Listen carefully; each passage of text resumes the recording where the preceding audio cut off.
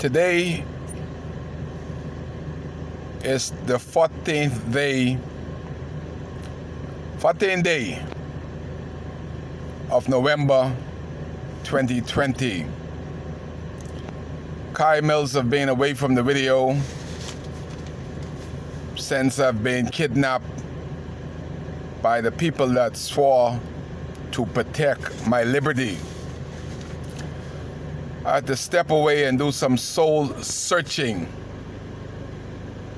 This is not the first time that I've been kidnapped by the Royal Bahamas Police Force in the Commonwealth of the Bahamas.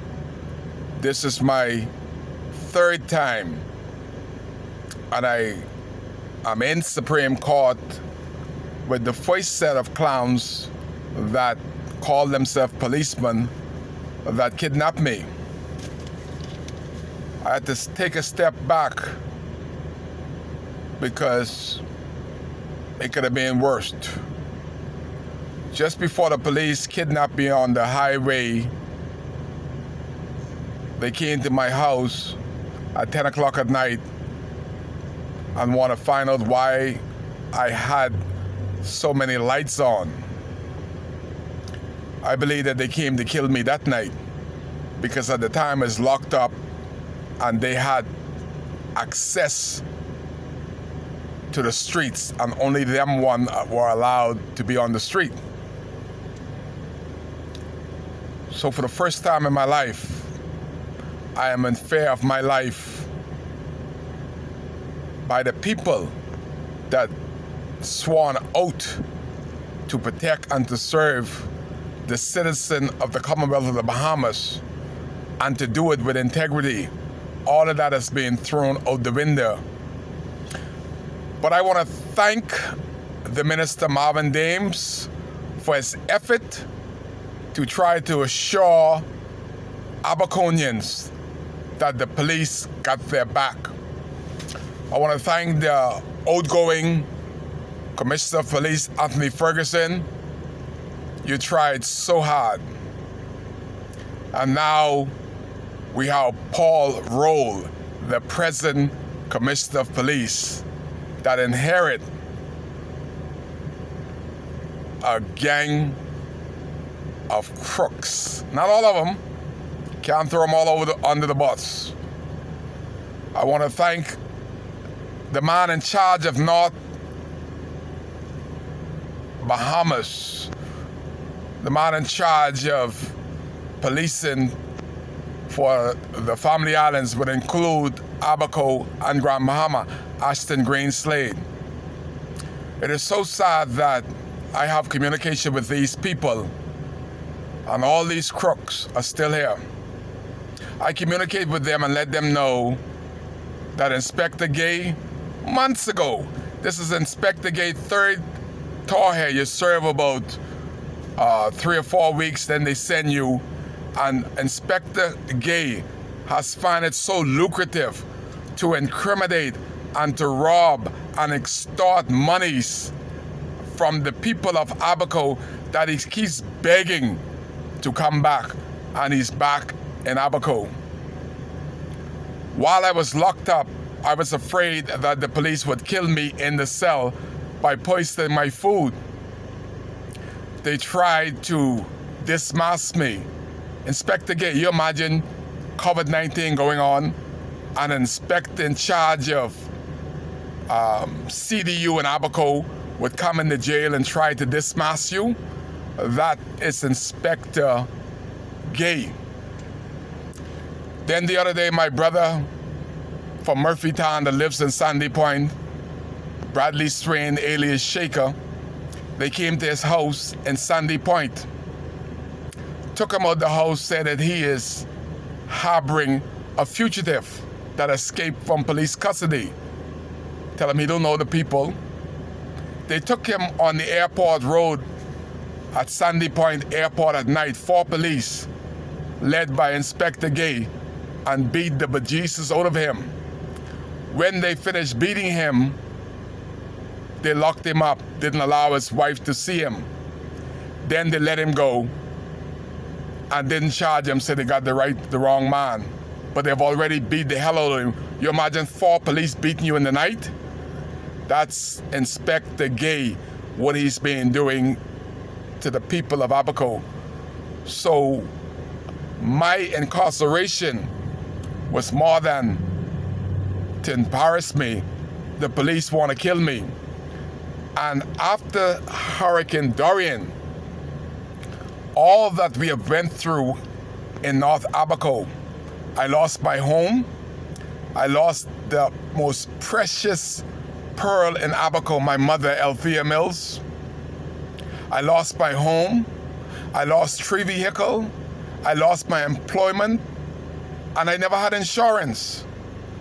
And then I lost my freedom on the streets of North Abaco by the people, four officers that swore an oath to protect and to serve Cay Mills and to do it with integrity. They have thrown all of that out of the window. But it could have been worse. Since Hurricane Dorian, we hadn't done the stand. Police officer came to a young man in Dundas Town with three witnesses and they opened fire and assassinated the young man, shot him in his head. Then they went, then this police that shot him went around and found a cutlass and put in his hand. Nothing has happened to this police so far. We don't even know his name. He may be back in Abaco to shoot me in the head. How can the police police the police? We had kidnapping. If I thought I was bad when I got kidnapped, it could have been worse. I could have been that one shot in the head. The police stated that I tried to knock them down. If I tried to knock any police down, certainly they would have opened fire. And if I tried to knock the police down, I wouldn't have put on the side of the street. I would continue on my way. I wouldn't have stopped and spoke with them. And these are the people, the police, the most organized gang in the Commonwealth of the Bahamas. The worst of the worst, the ones that have that D average, they send them all into Abaco to incriminate and to interfere and to abuse our constitutional right by wrongful arrest, wrongful detention. All of these things is happening to a people that went through a storm. And the worst thing that happened after the storm, if the police, all the stuff you heard about getting stolen, the police is in the forefront of all this crime in Abaco. I noticed the chief of police, right after Dorian, there were more stuff taken out of Abaco, out of Maxwell Supermarket, by the chief of police that stole from the people that he's supposed to protect. That is why crime is ramping. It is not because of the citizenry of Abaco, because we are trying to get back to some normalcy. But the police is extorting monies, finding you on the street, searching you, pickpocketing you, your monies. This is all happening to a people that went through a storm. I stopped doing videos and readjust, thought about what I should do, should say, but nobody is gonna stop me from doing what I ought to be doing. The first word in free national movement, the government of the day, is free, but they are in the front of trying to take away from my constitutional rights freedom of speech, freedom of movement, freedom of association. All of this is happening to a people that have went through a storm. So I'm asking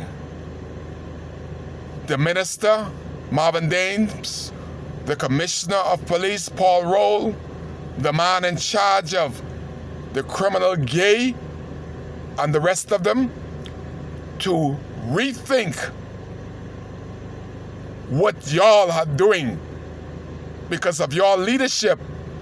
We have reported Gay to y'all, and he is still here incriminating, bringing people in the bushes. You imagine the police, four police beating a young man in the bush at night, then lock them up. You imagine four police that sworn out to protect Cay Mills is incriminating me, locking me away. That can't be right. All I am is the messenger because my MP, Darren Henfield, and James Albury have left the building. All Cay doing is trying to educate what ought to be doing in Abaco. But we cannot have policemen like Gay taken away from our constitutional right. This one these Kai care with you. We hope that the minister, the commissioner, do something before somebody else get killed at the hands of Inspector Gay.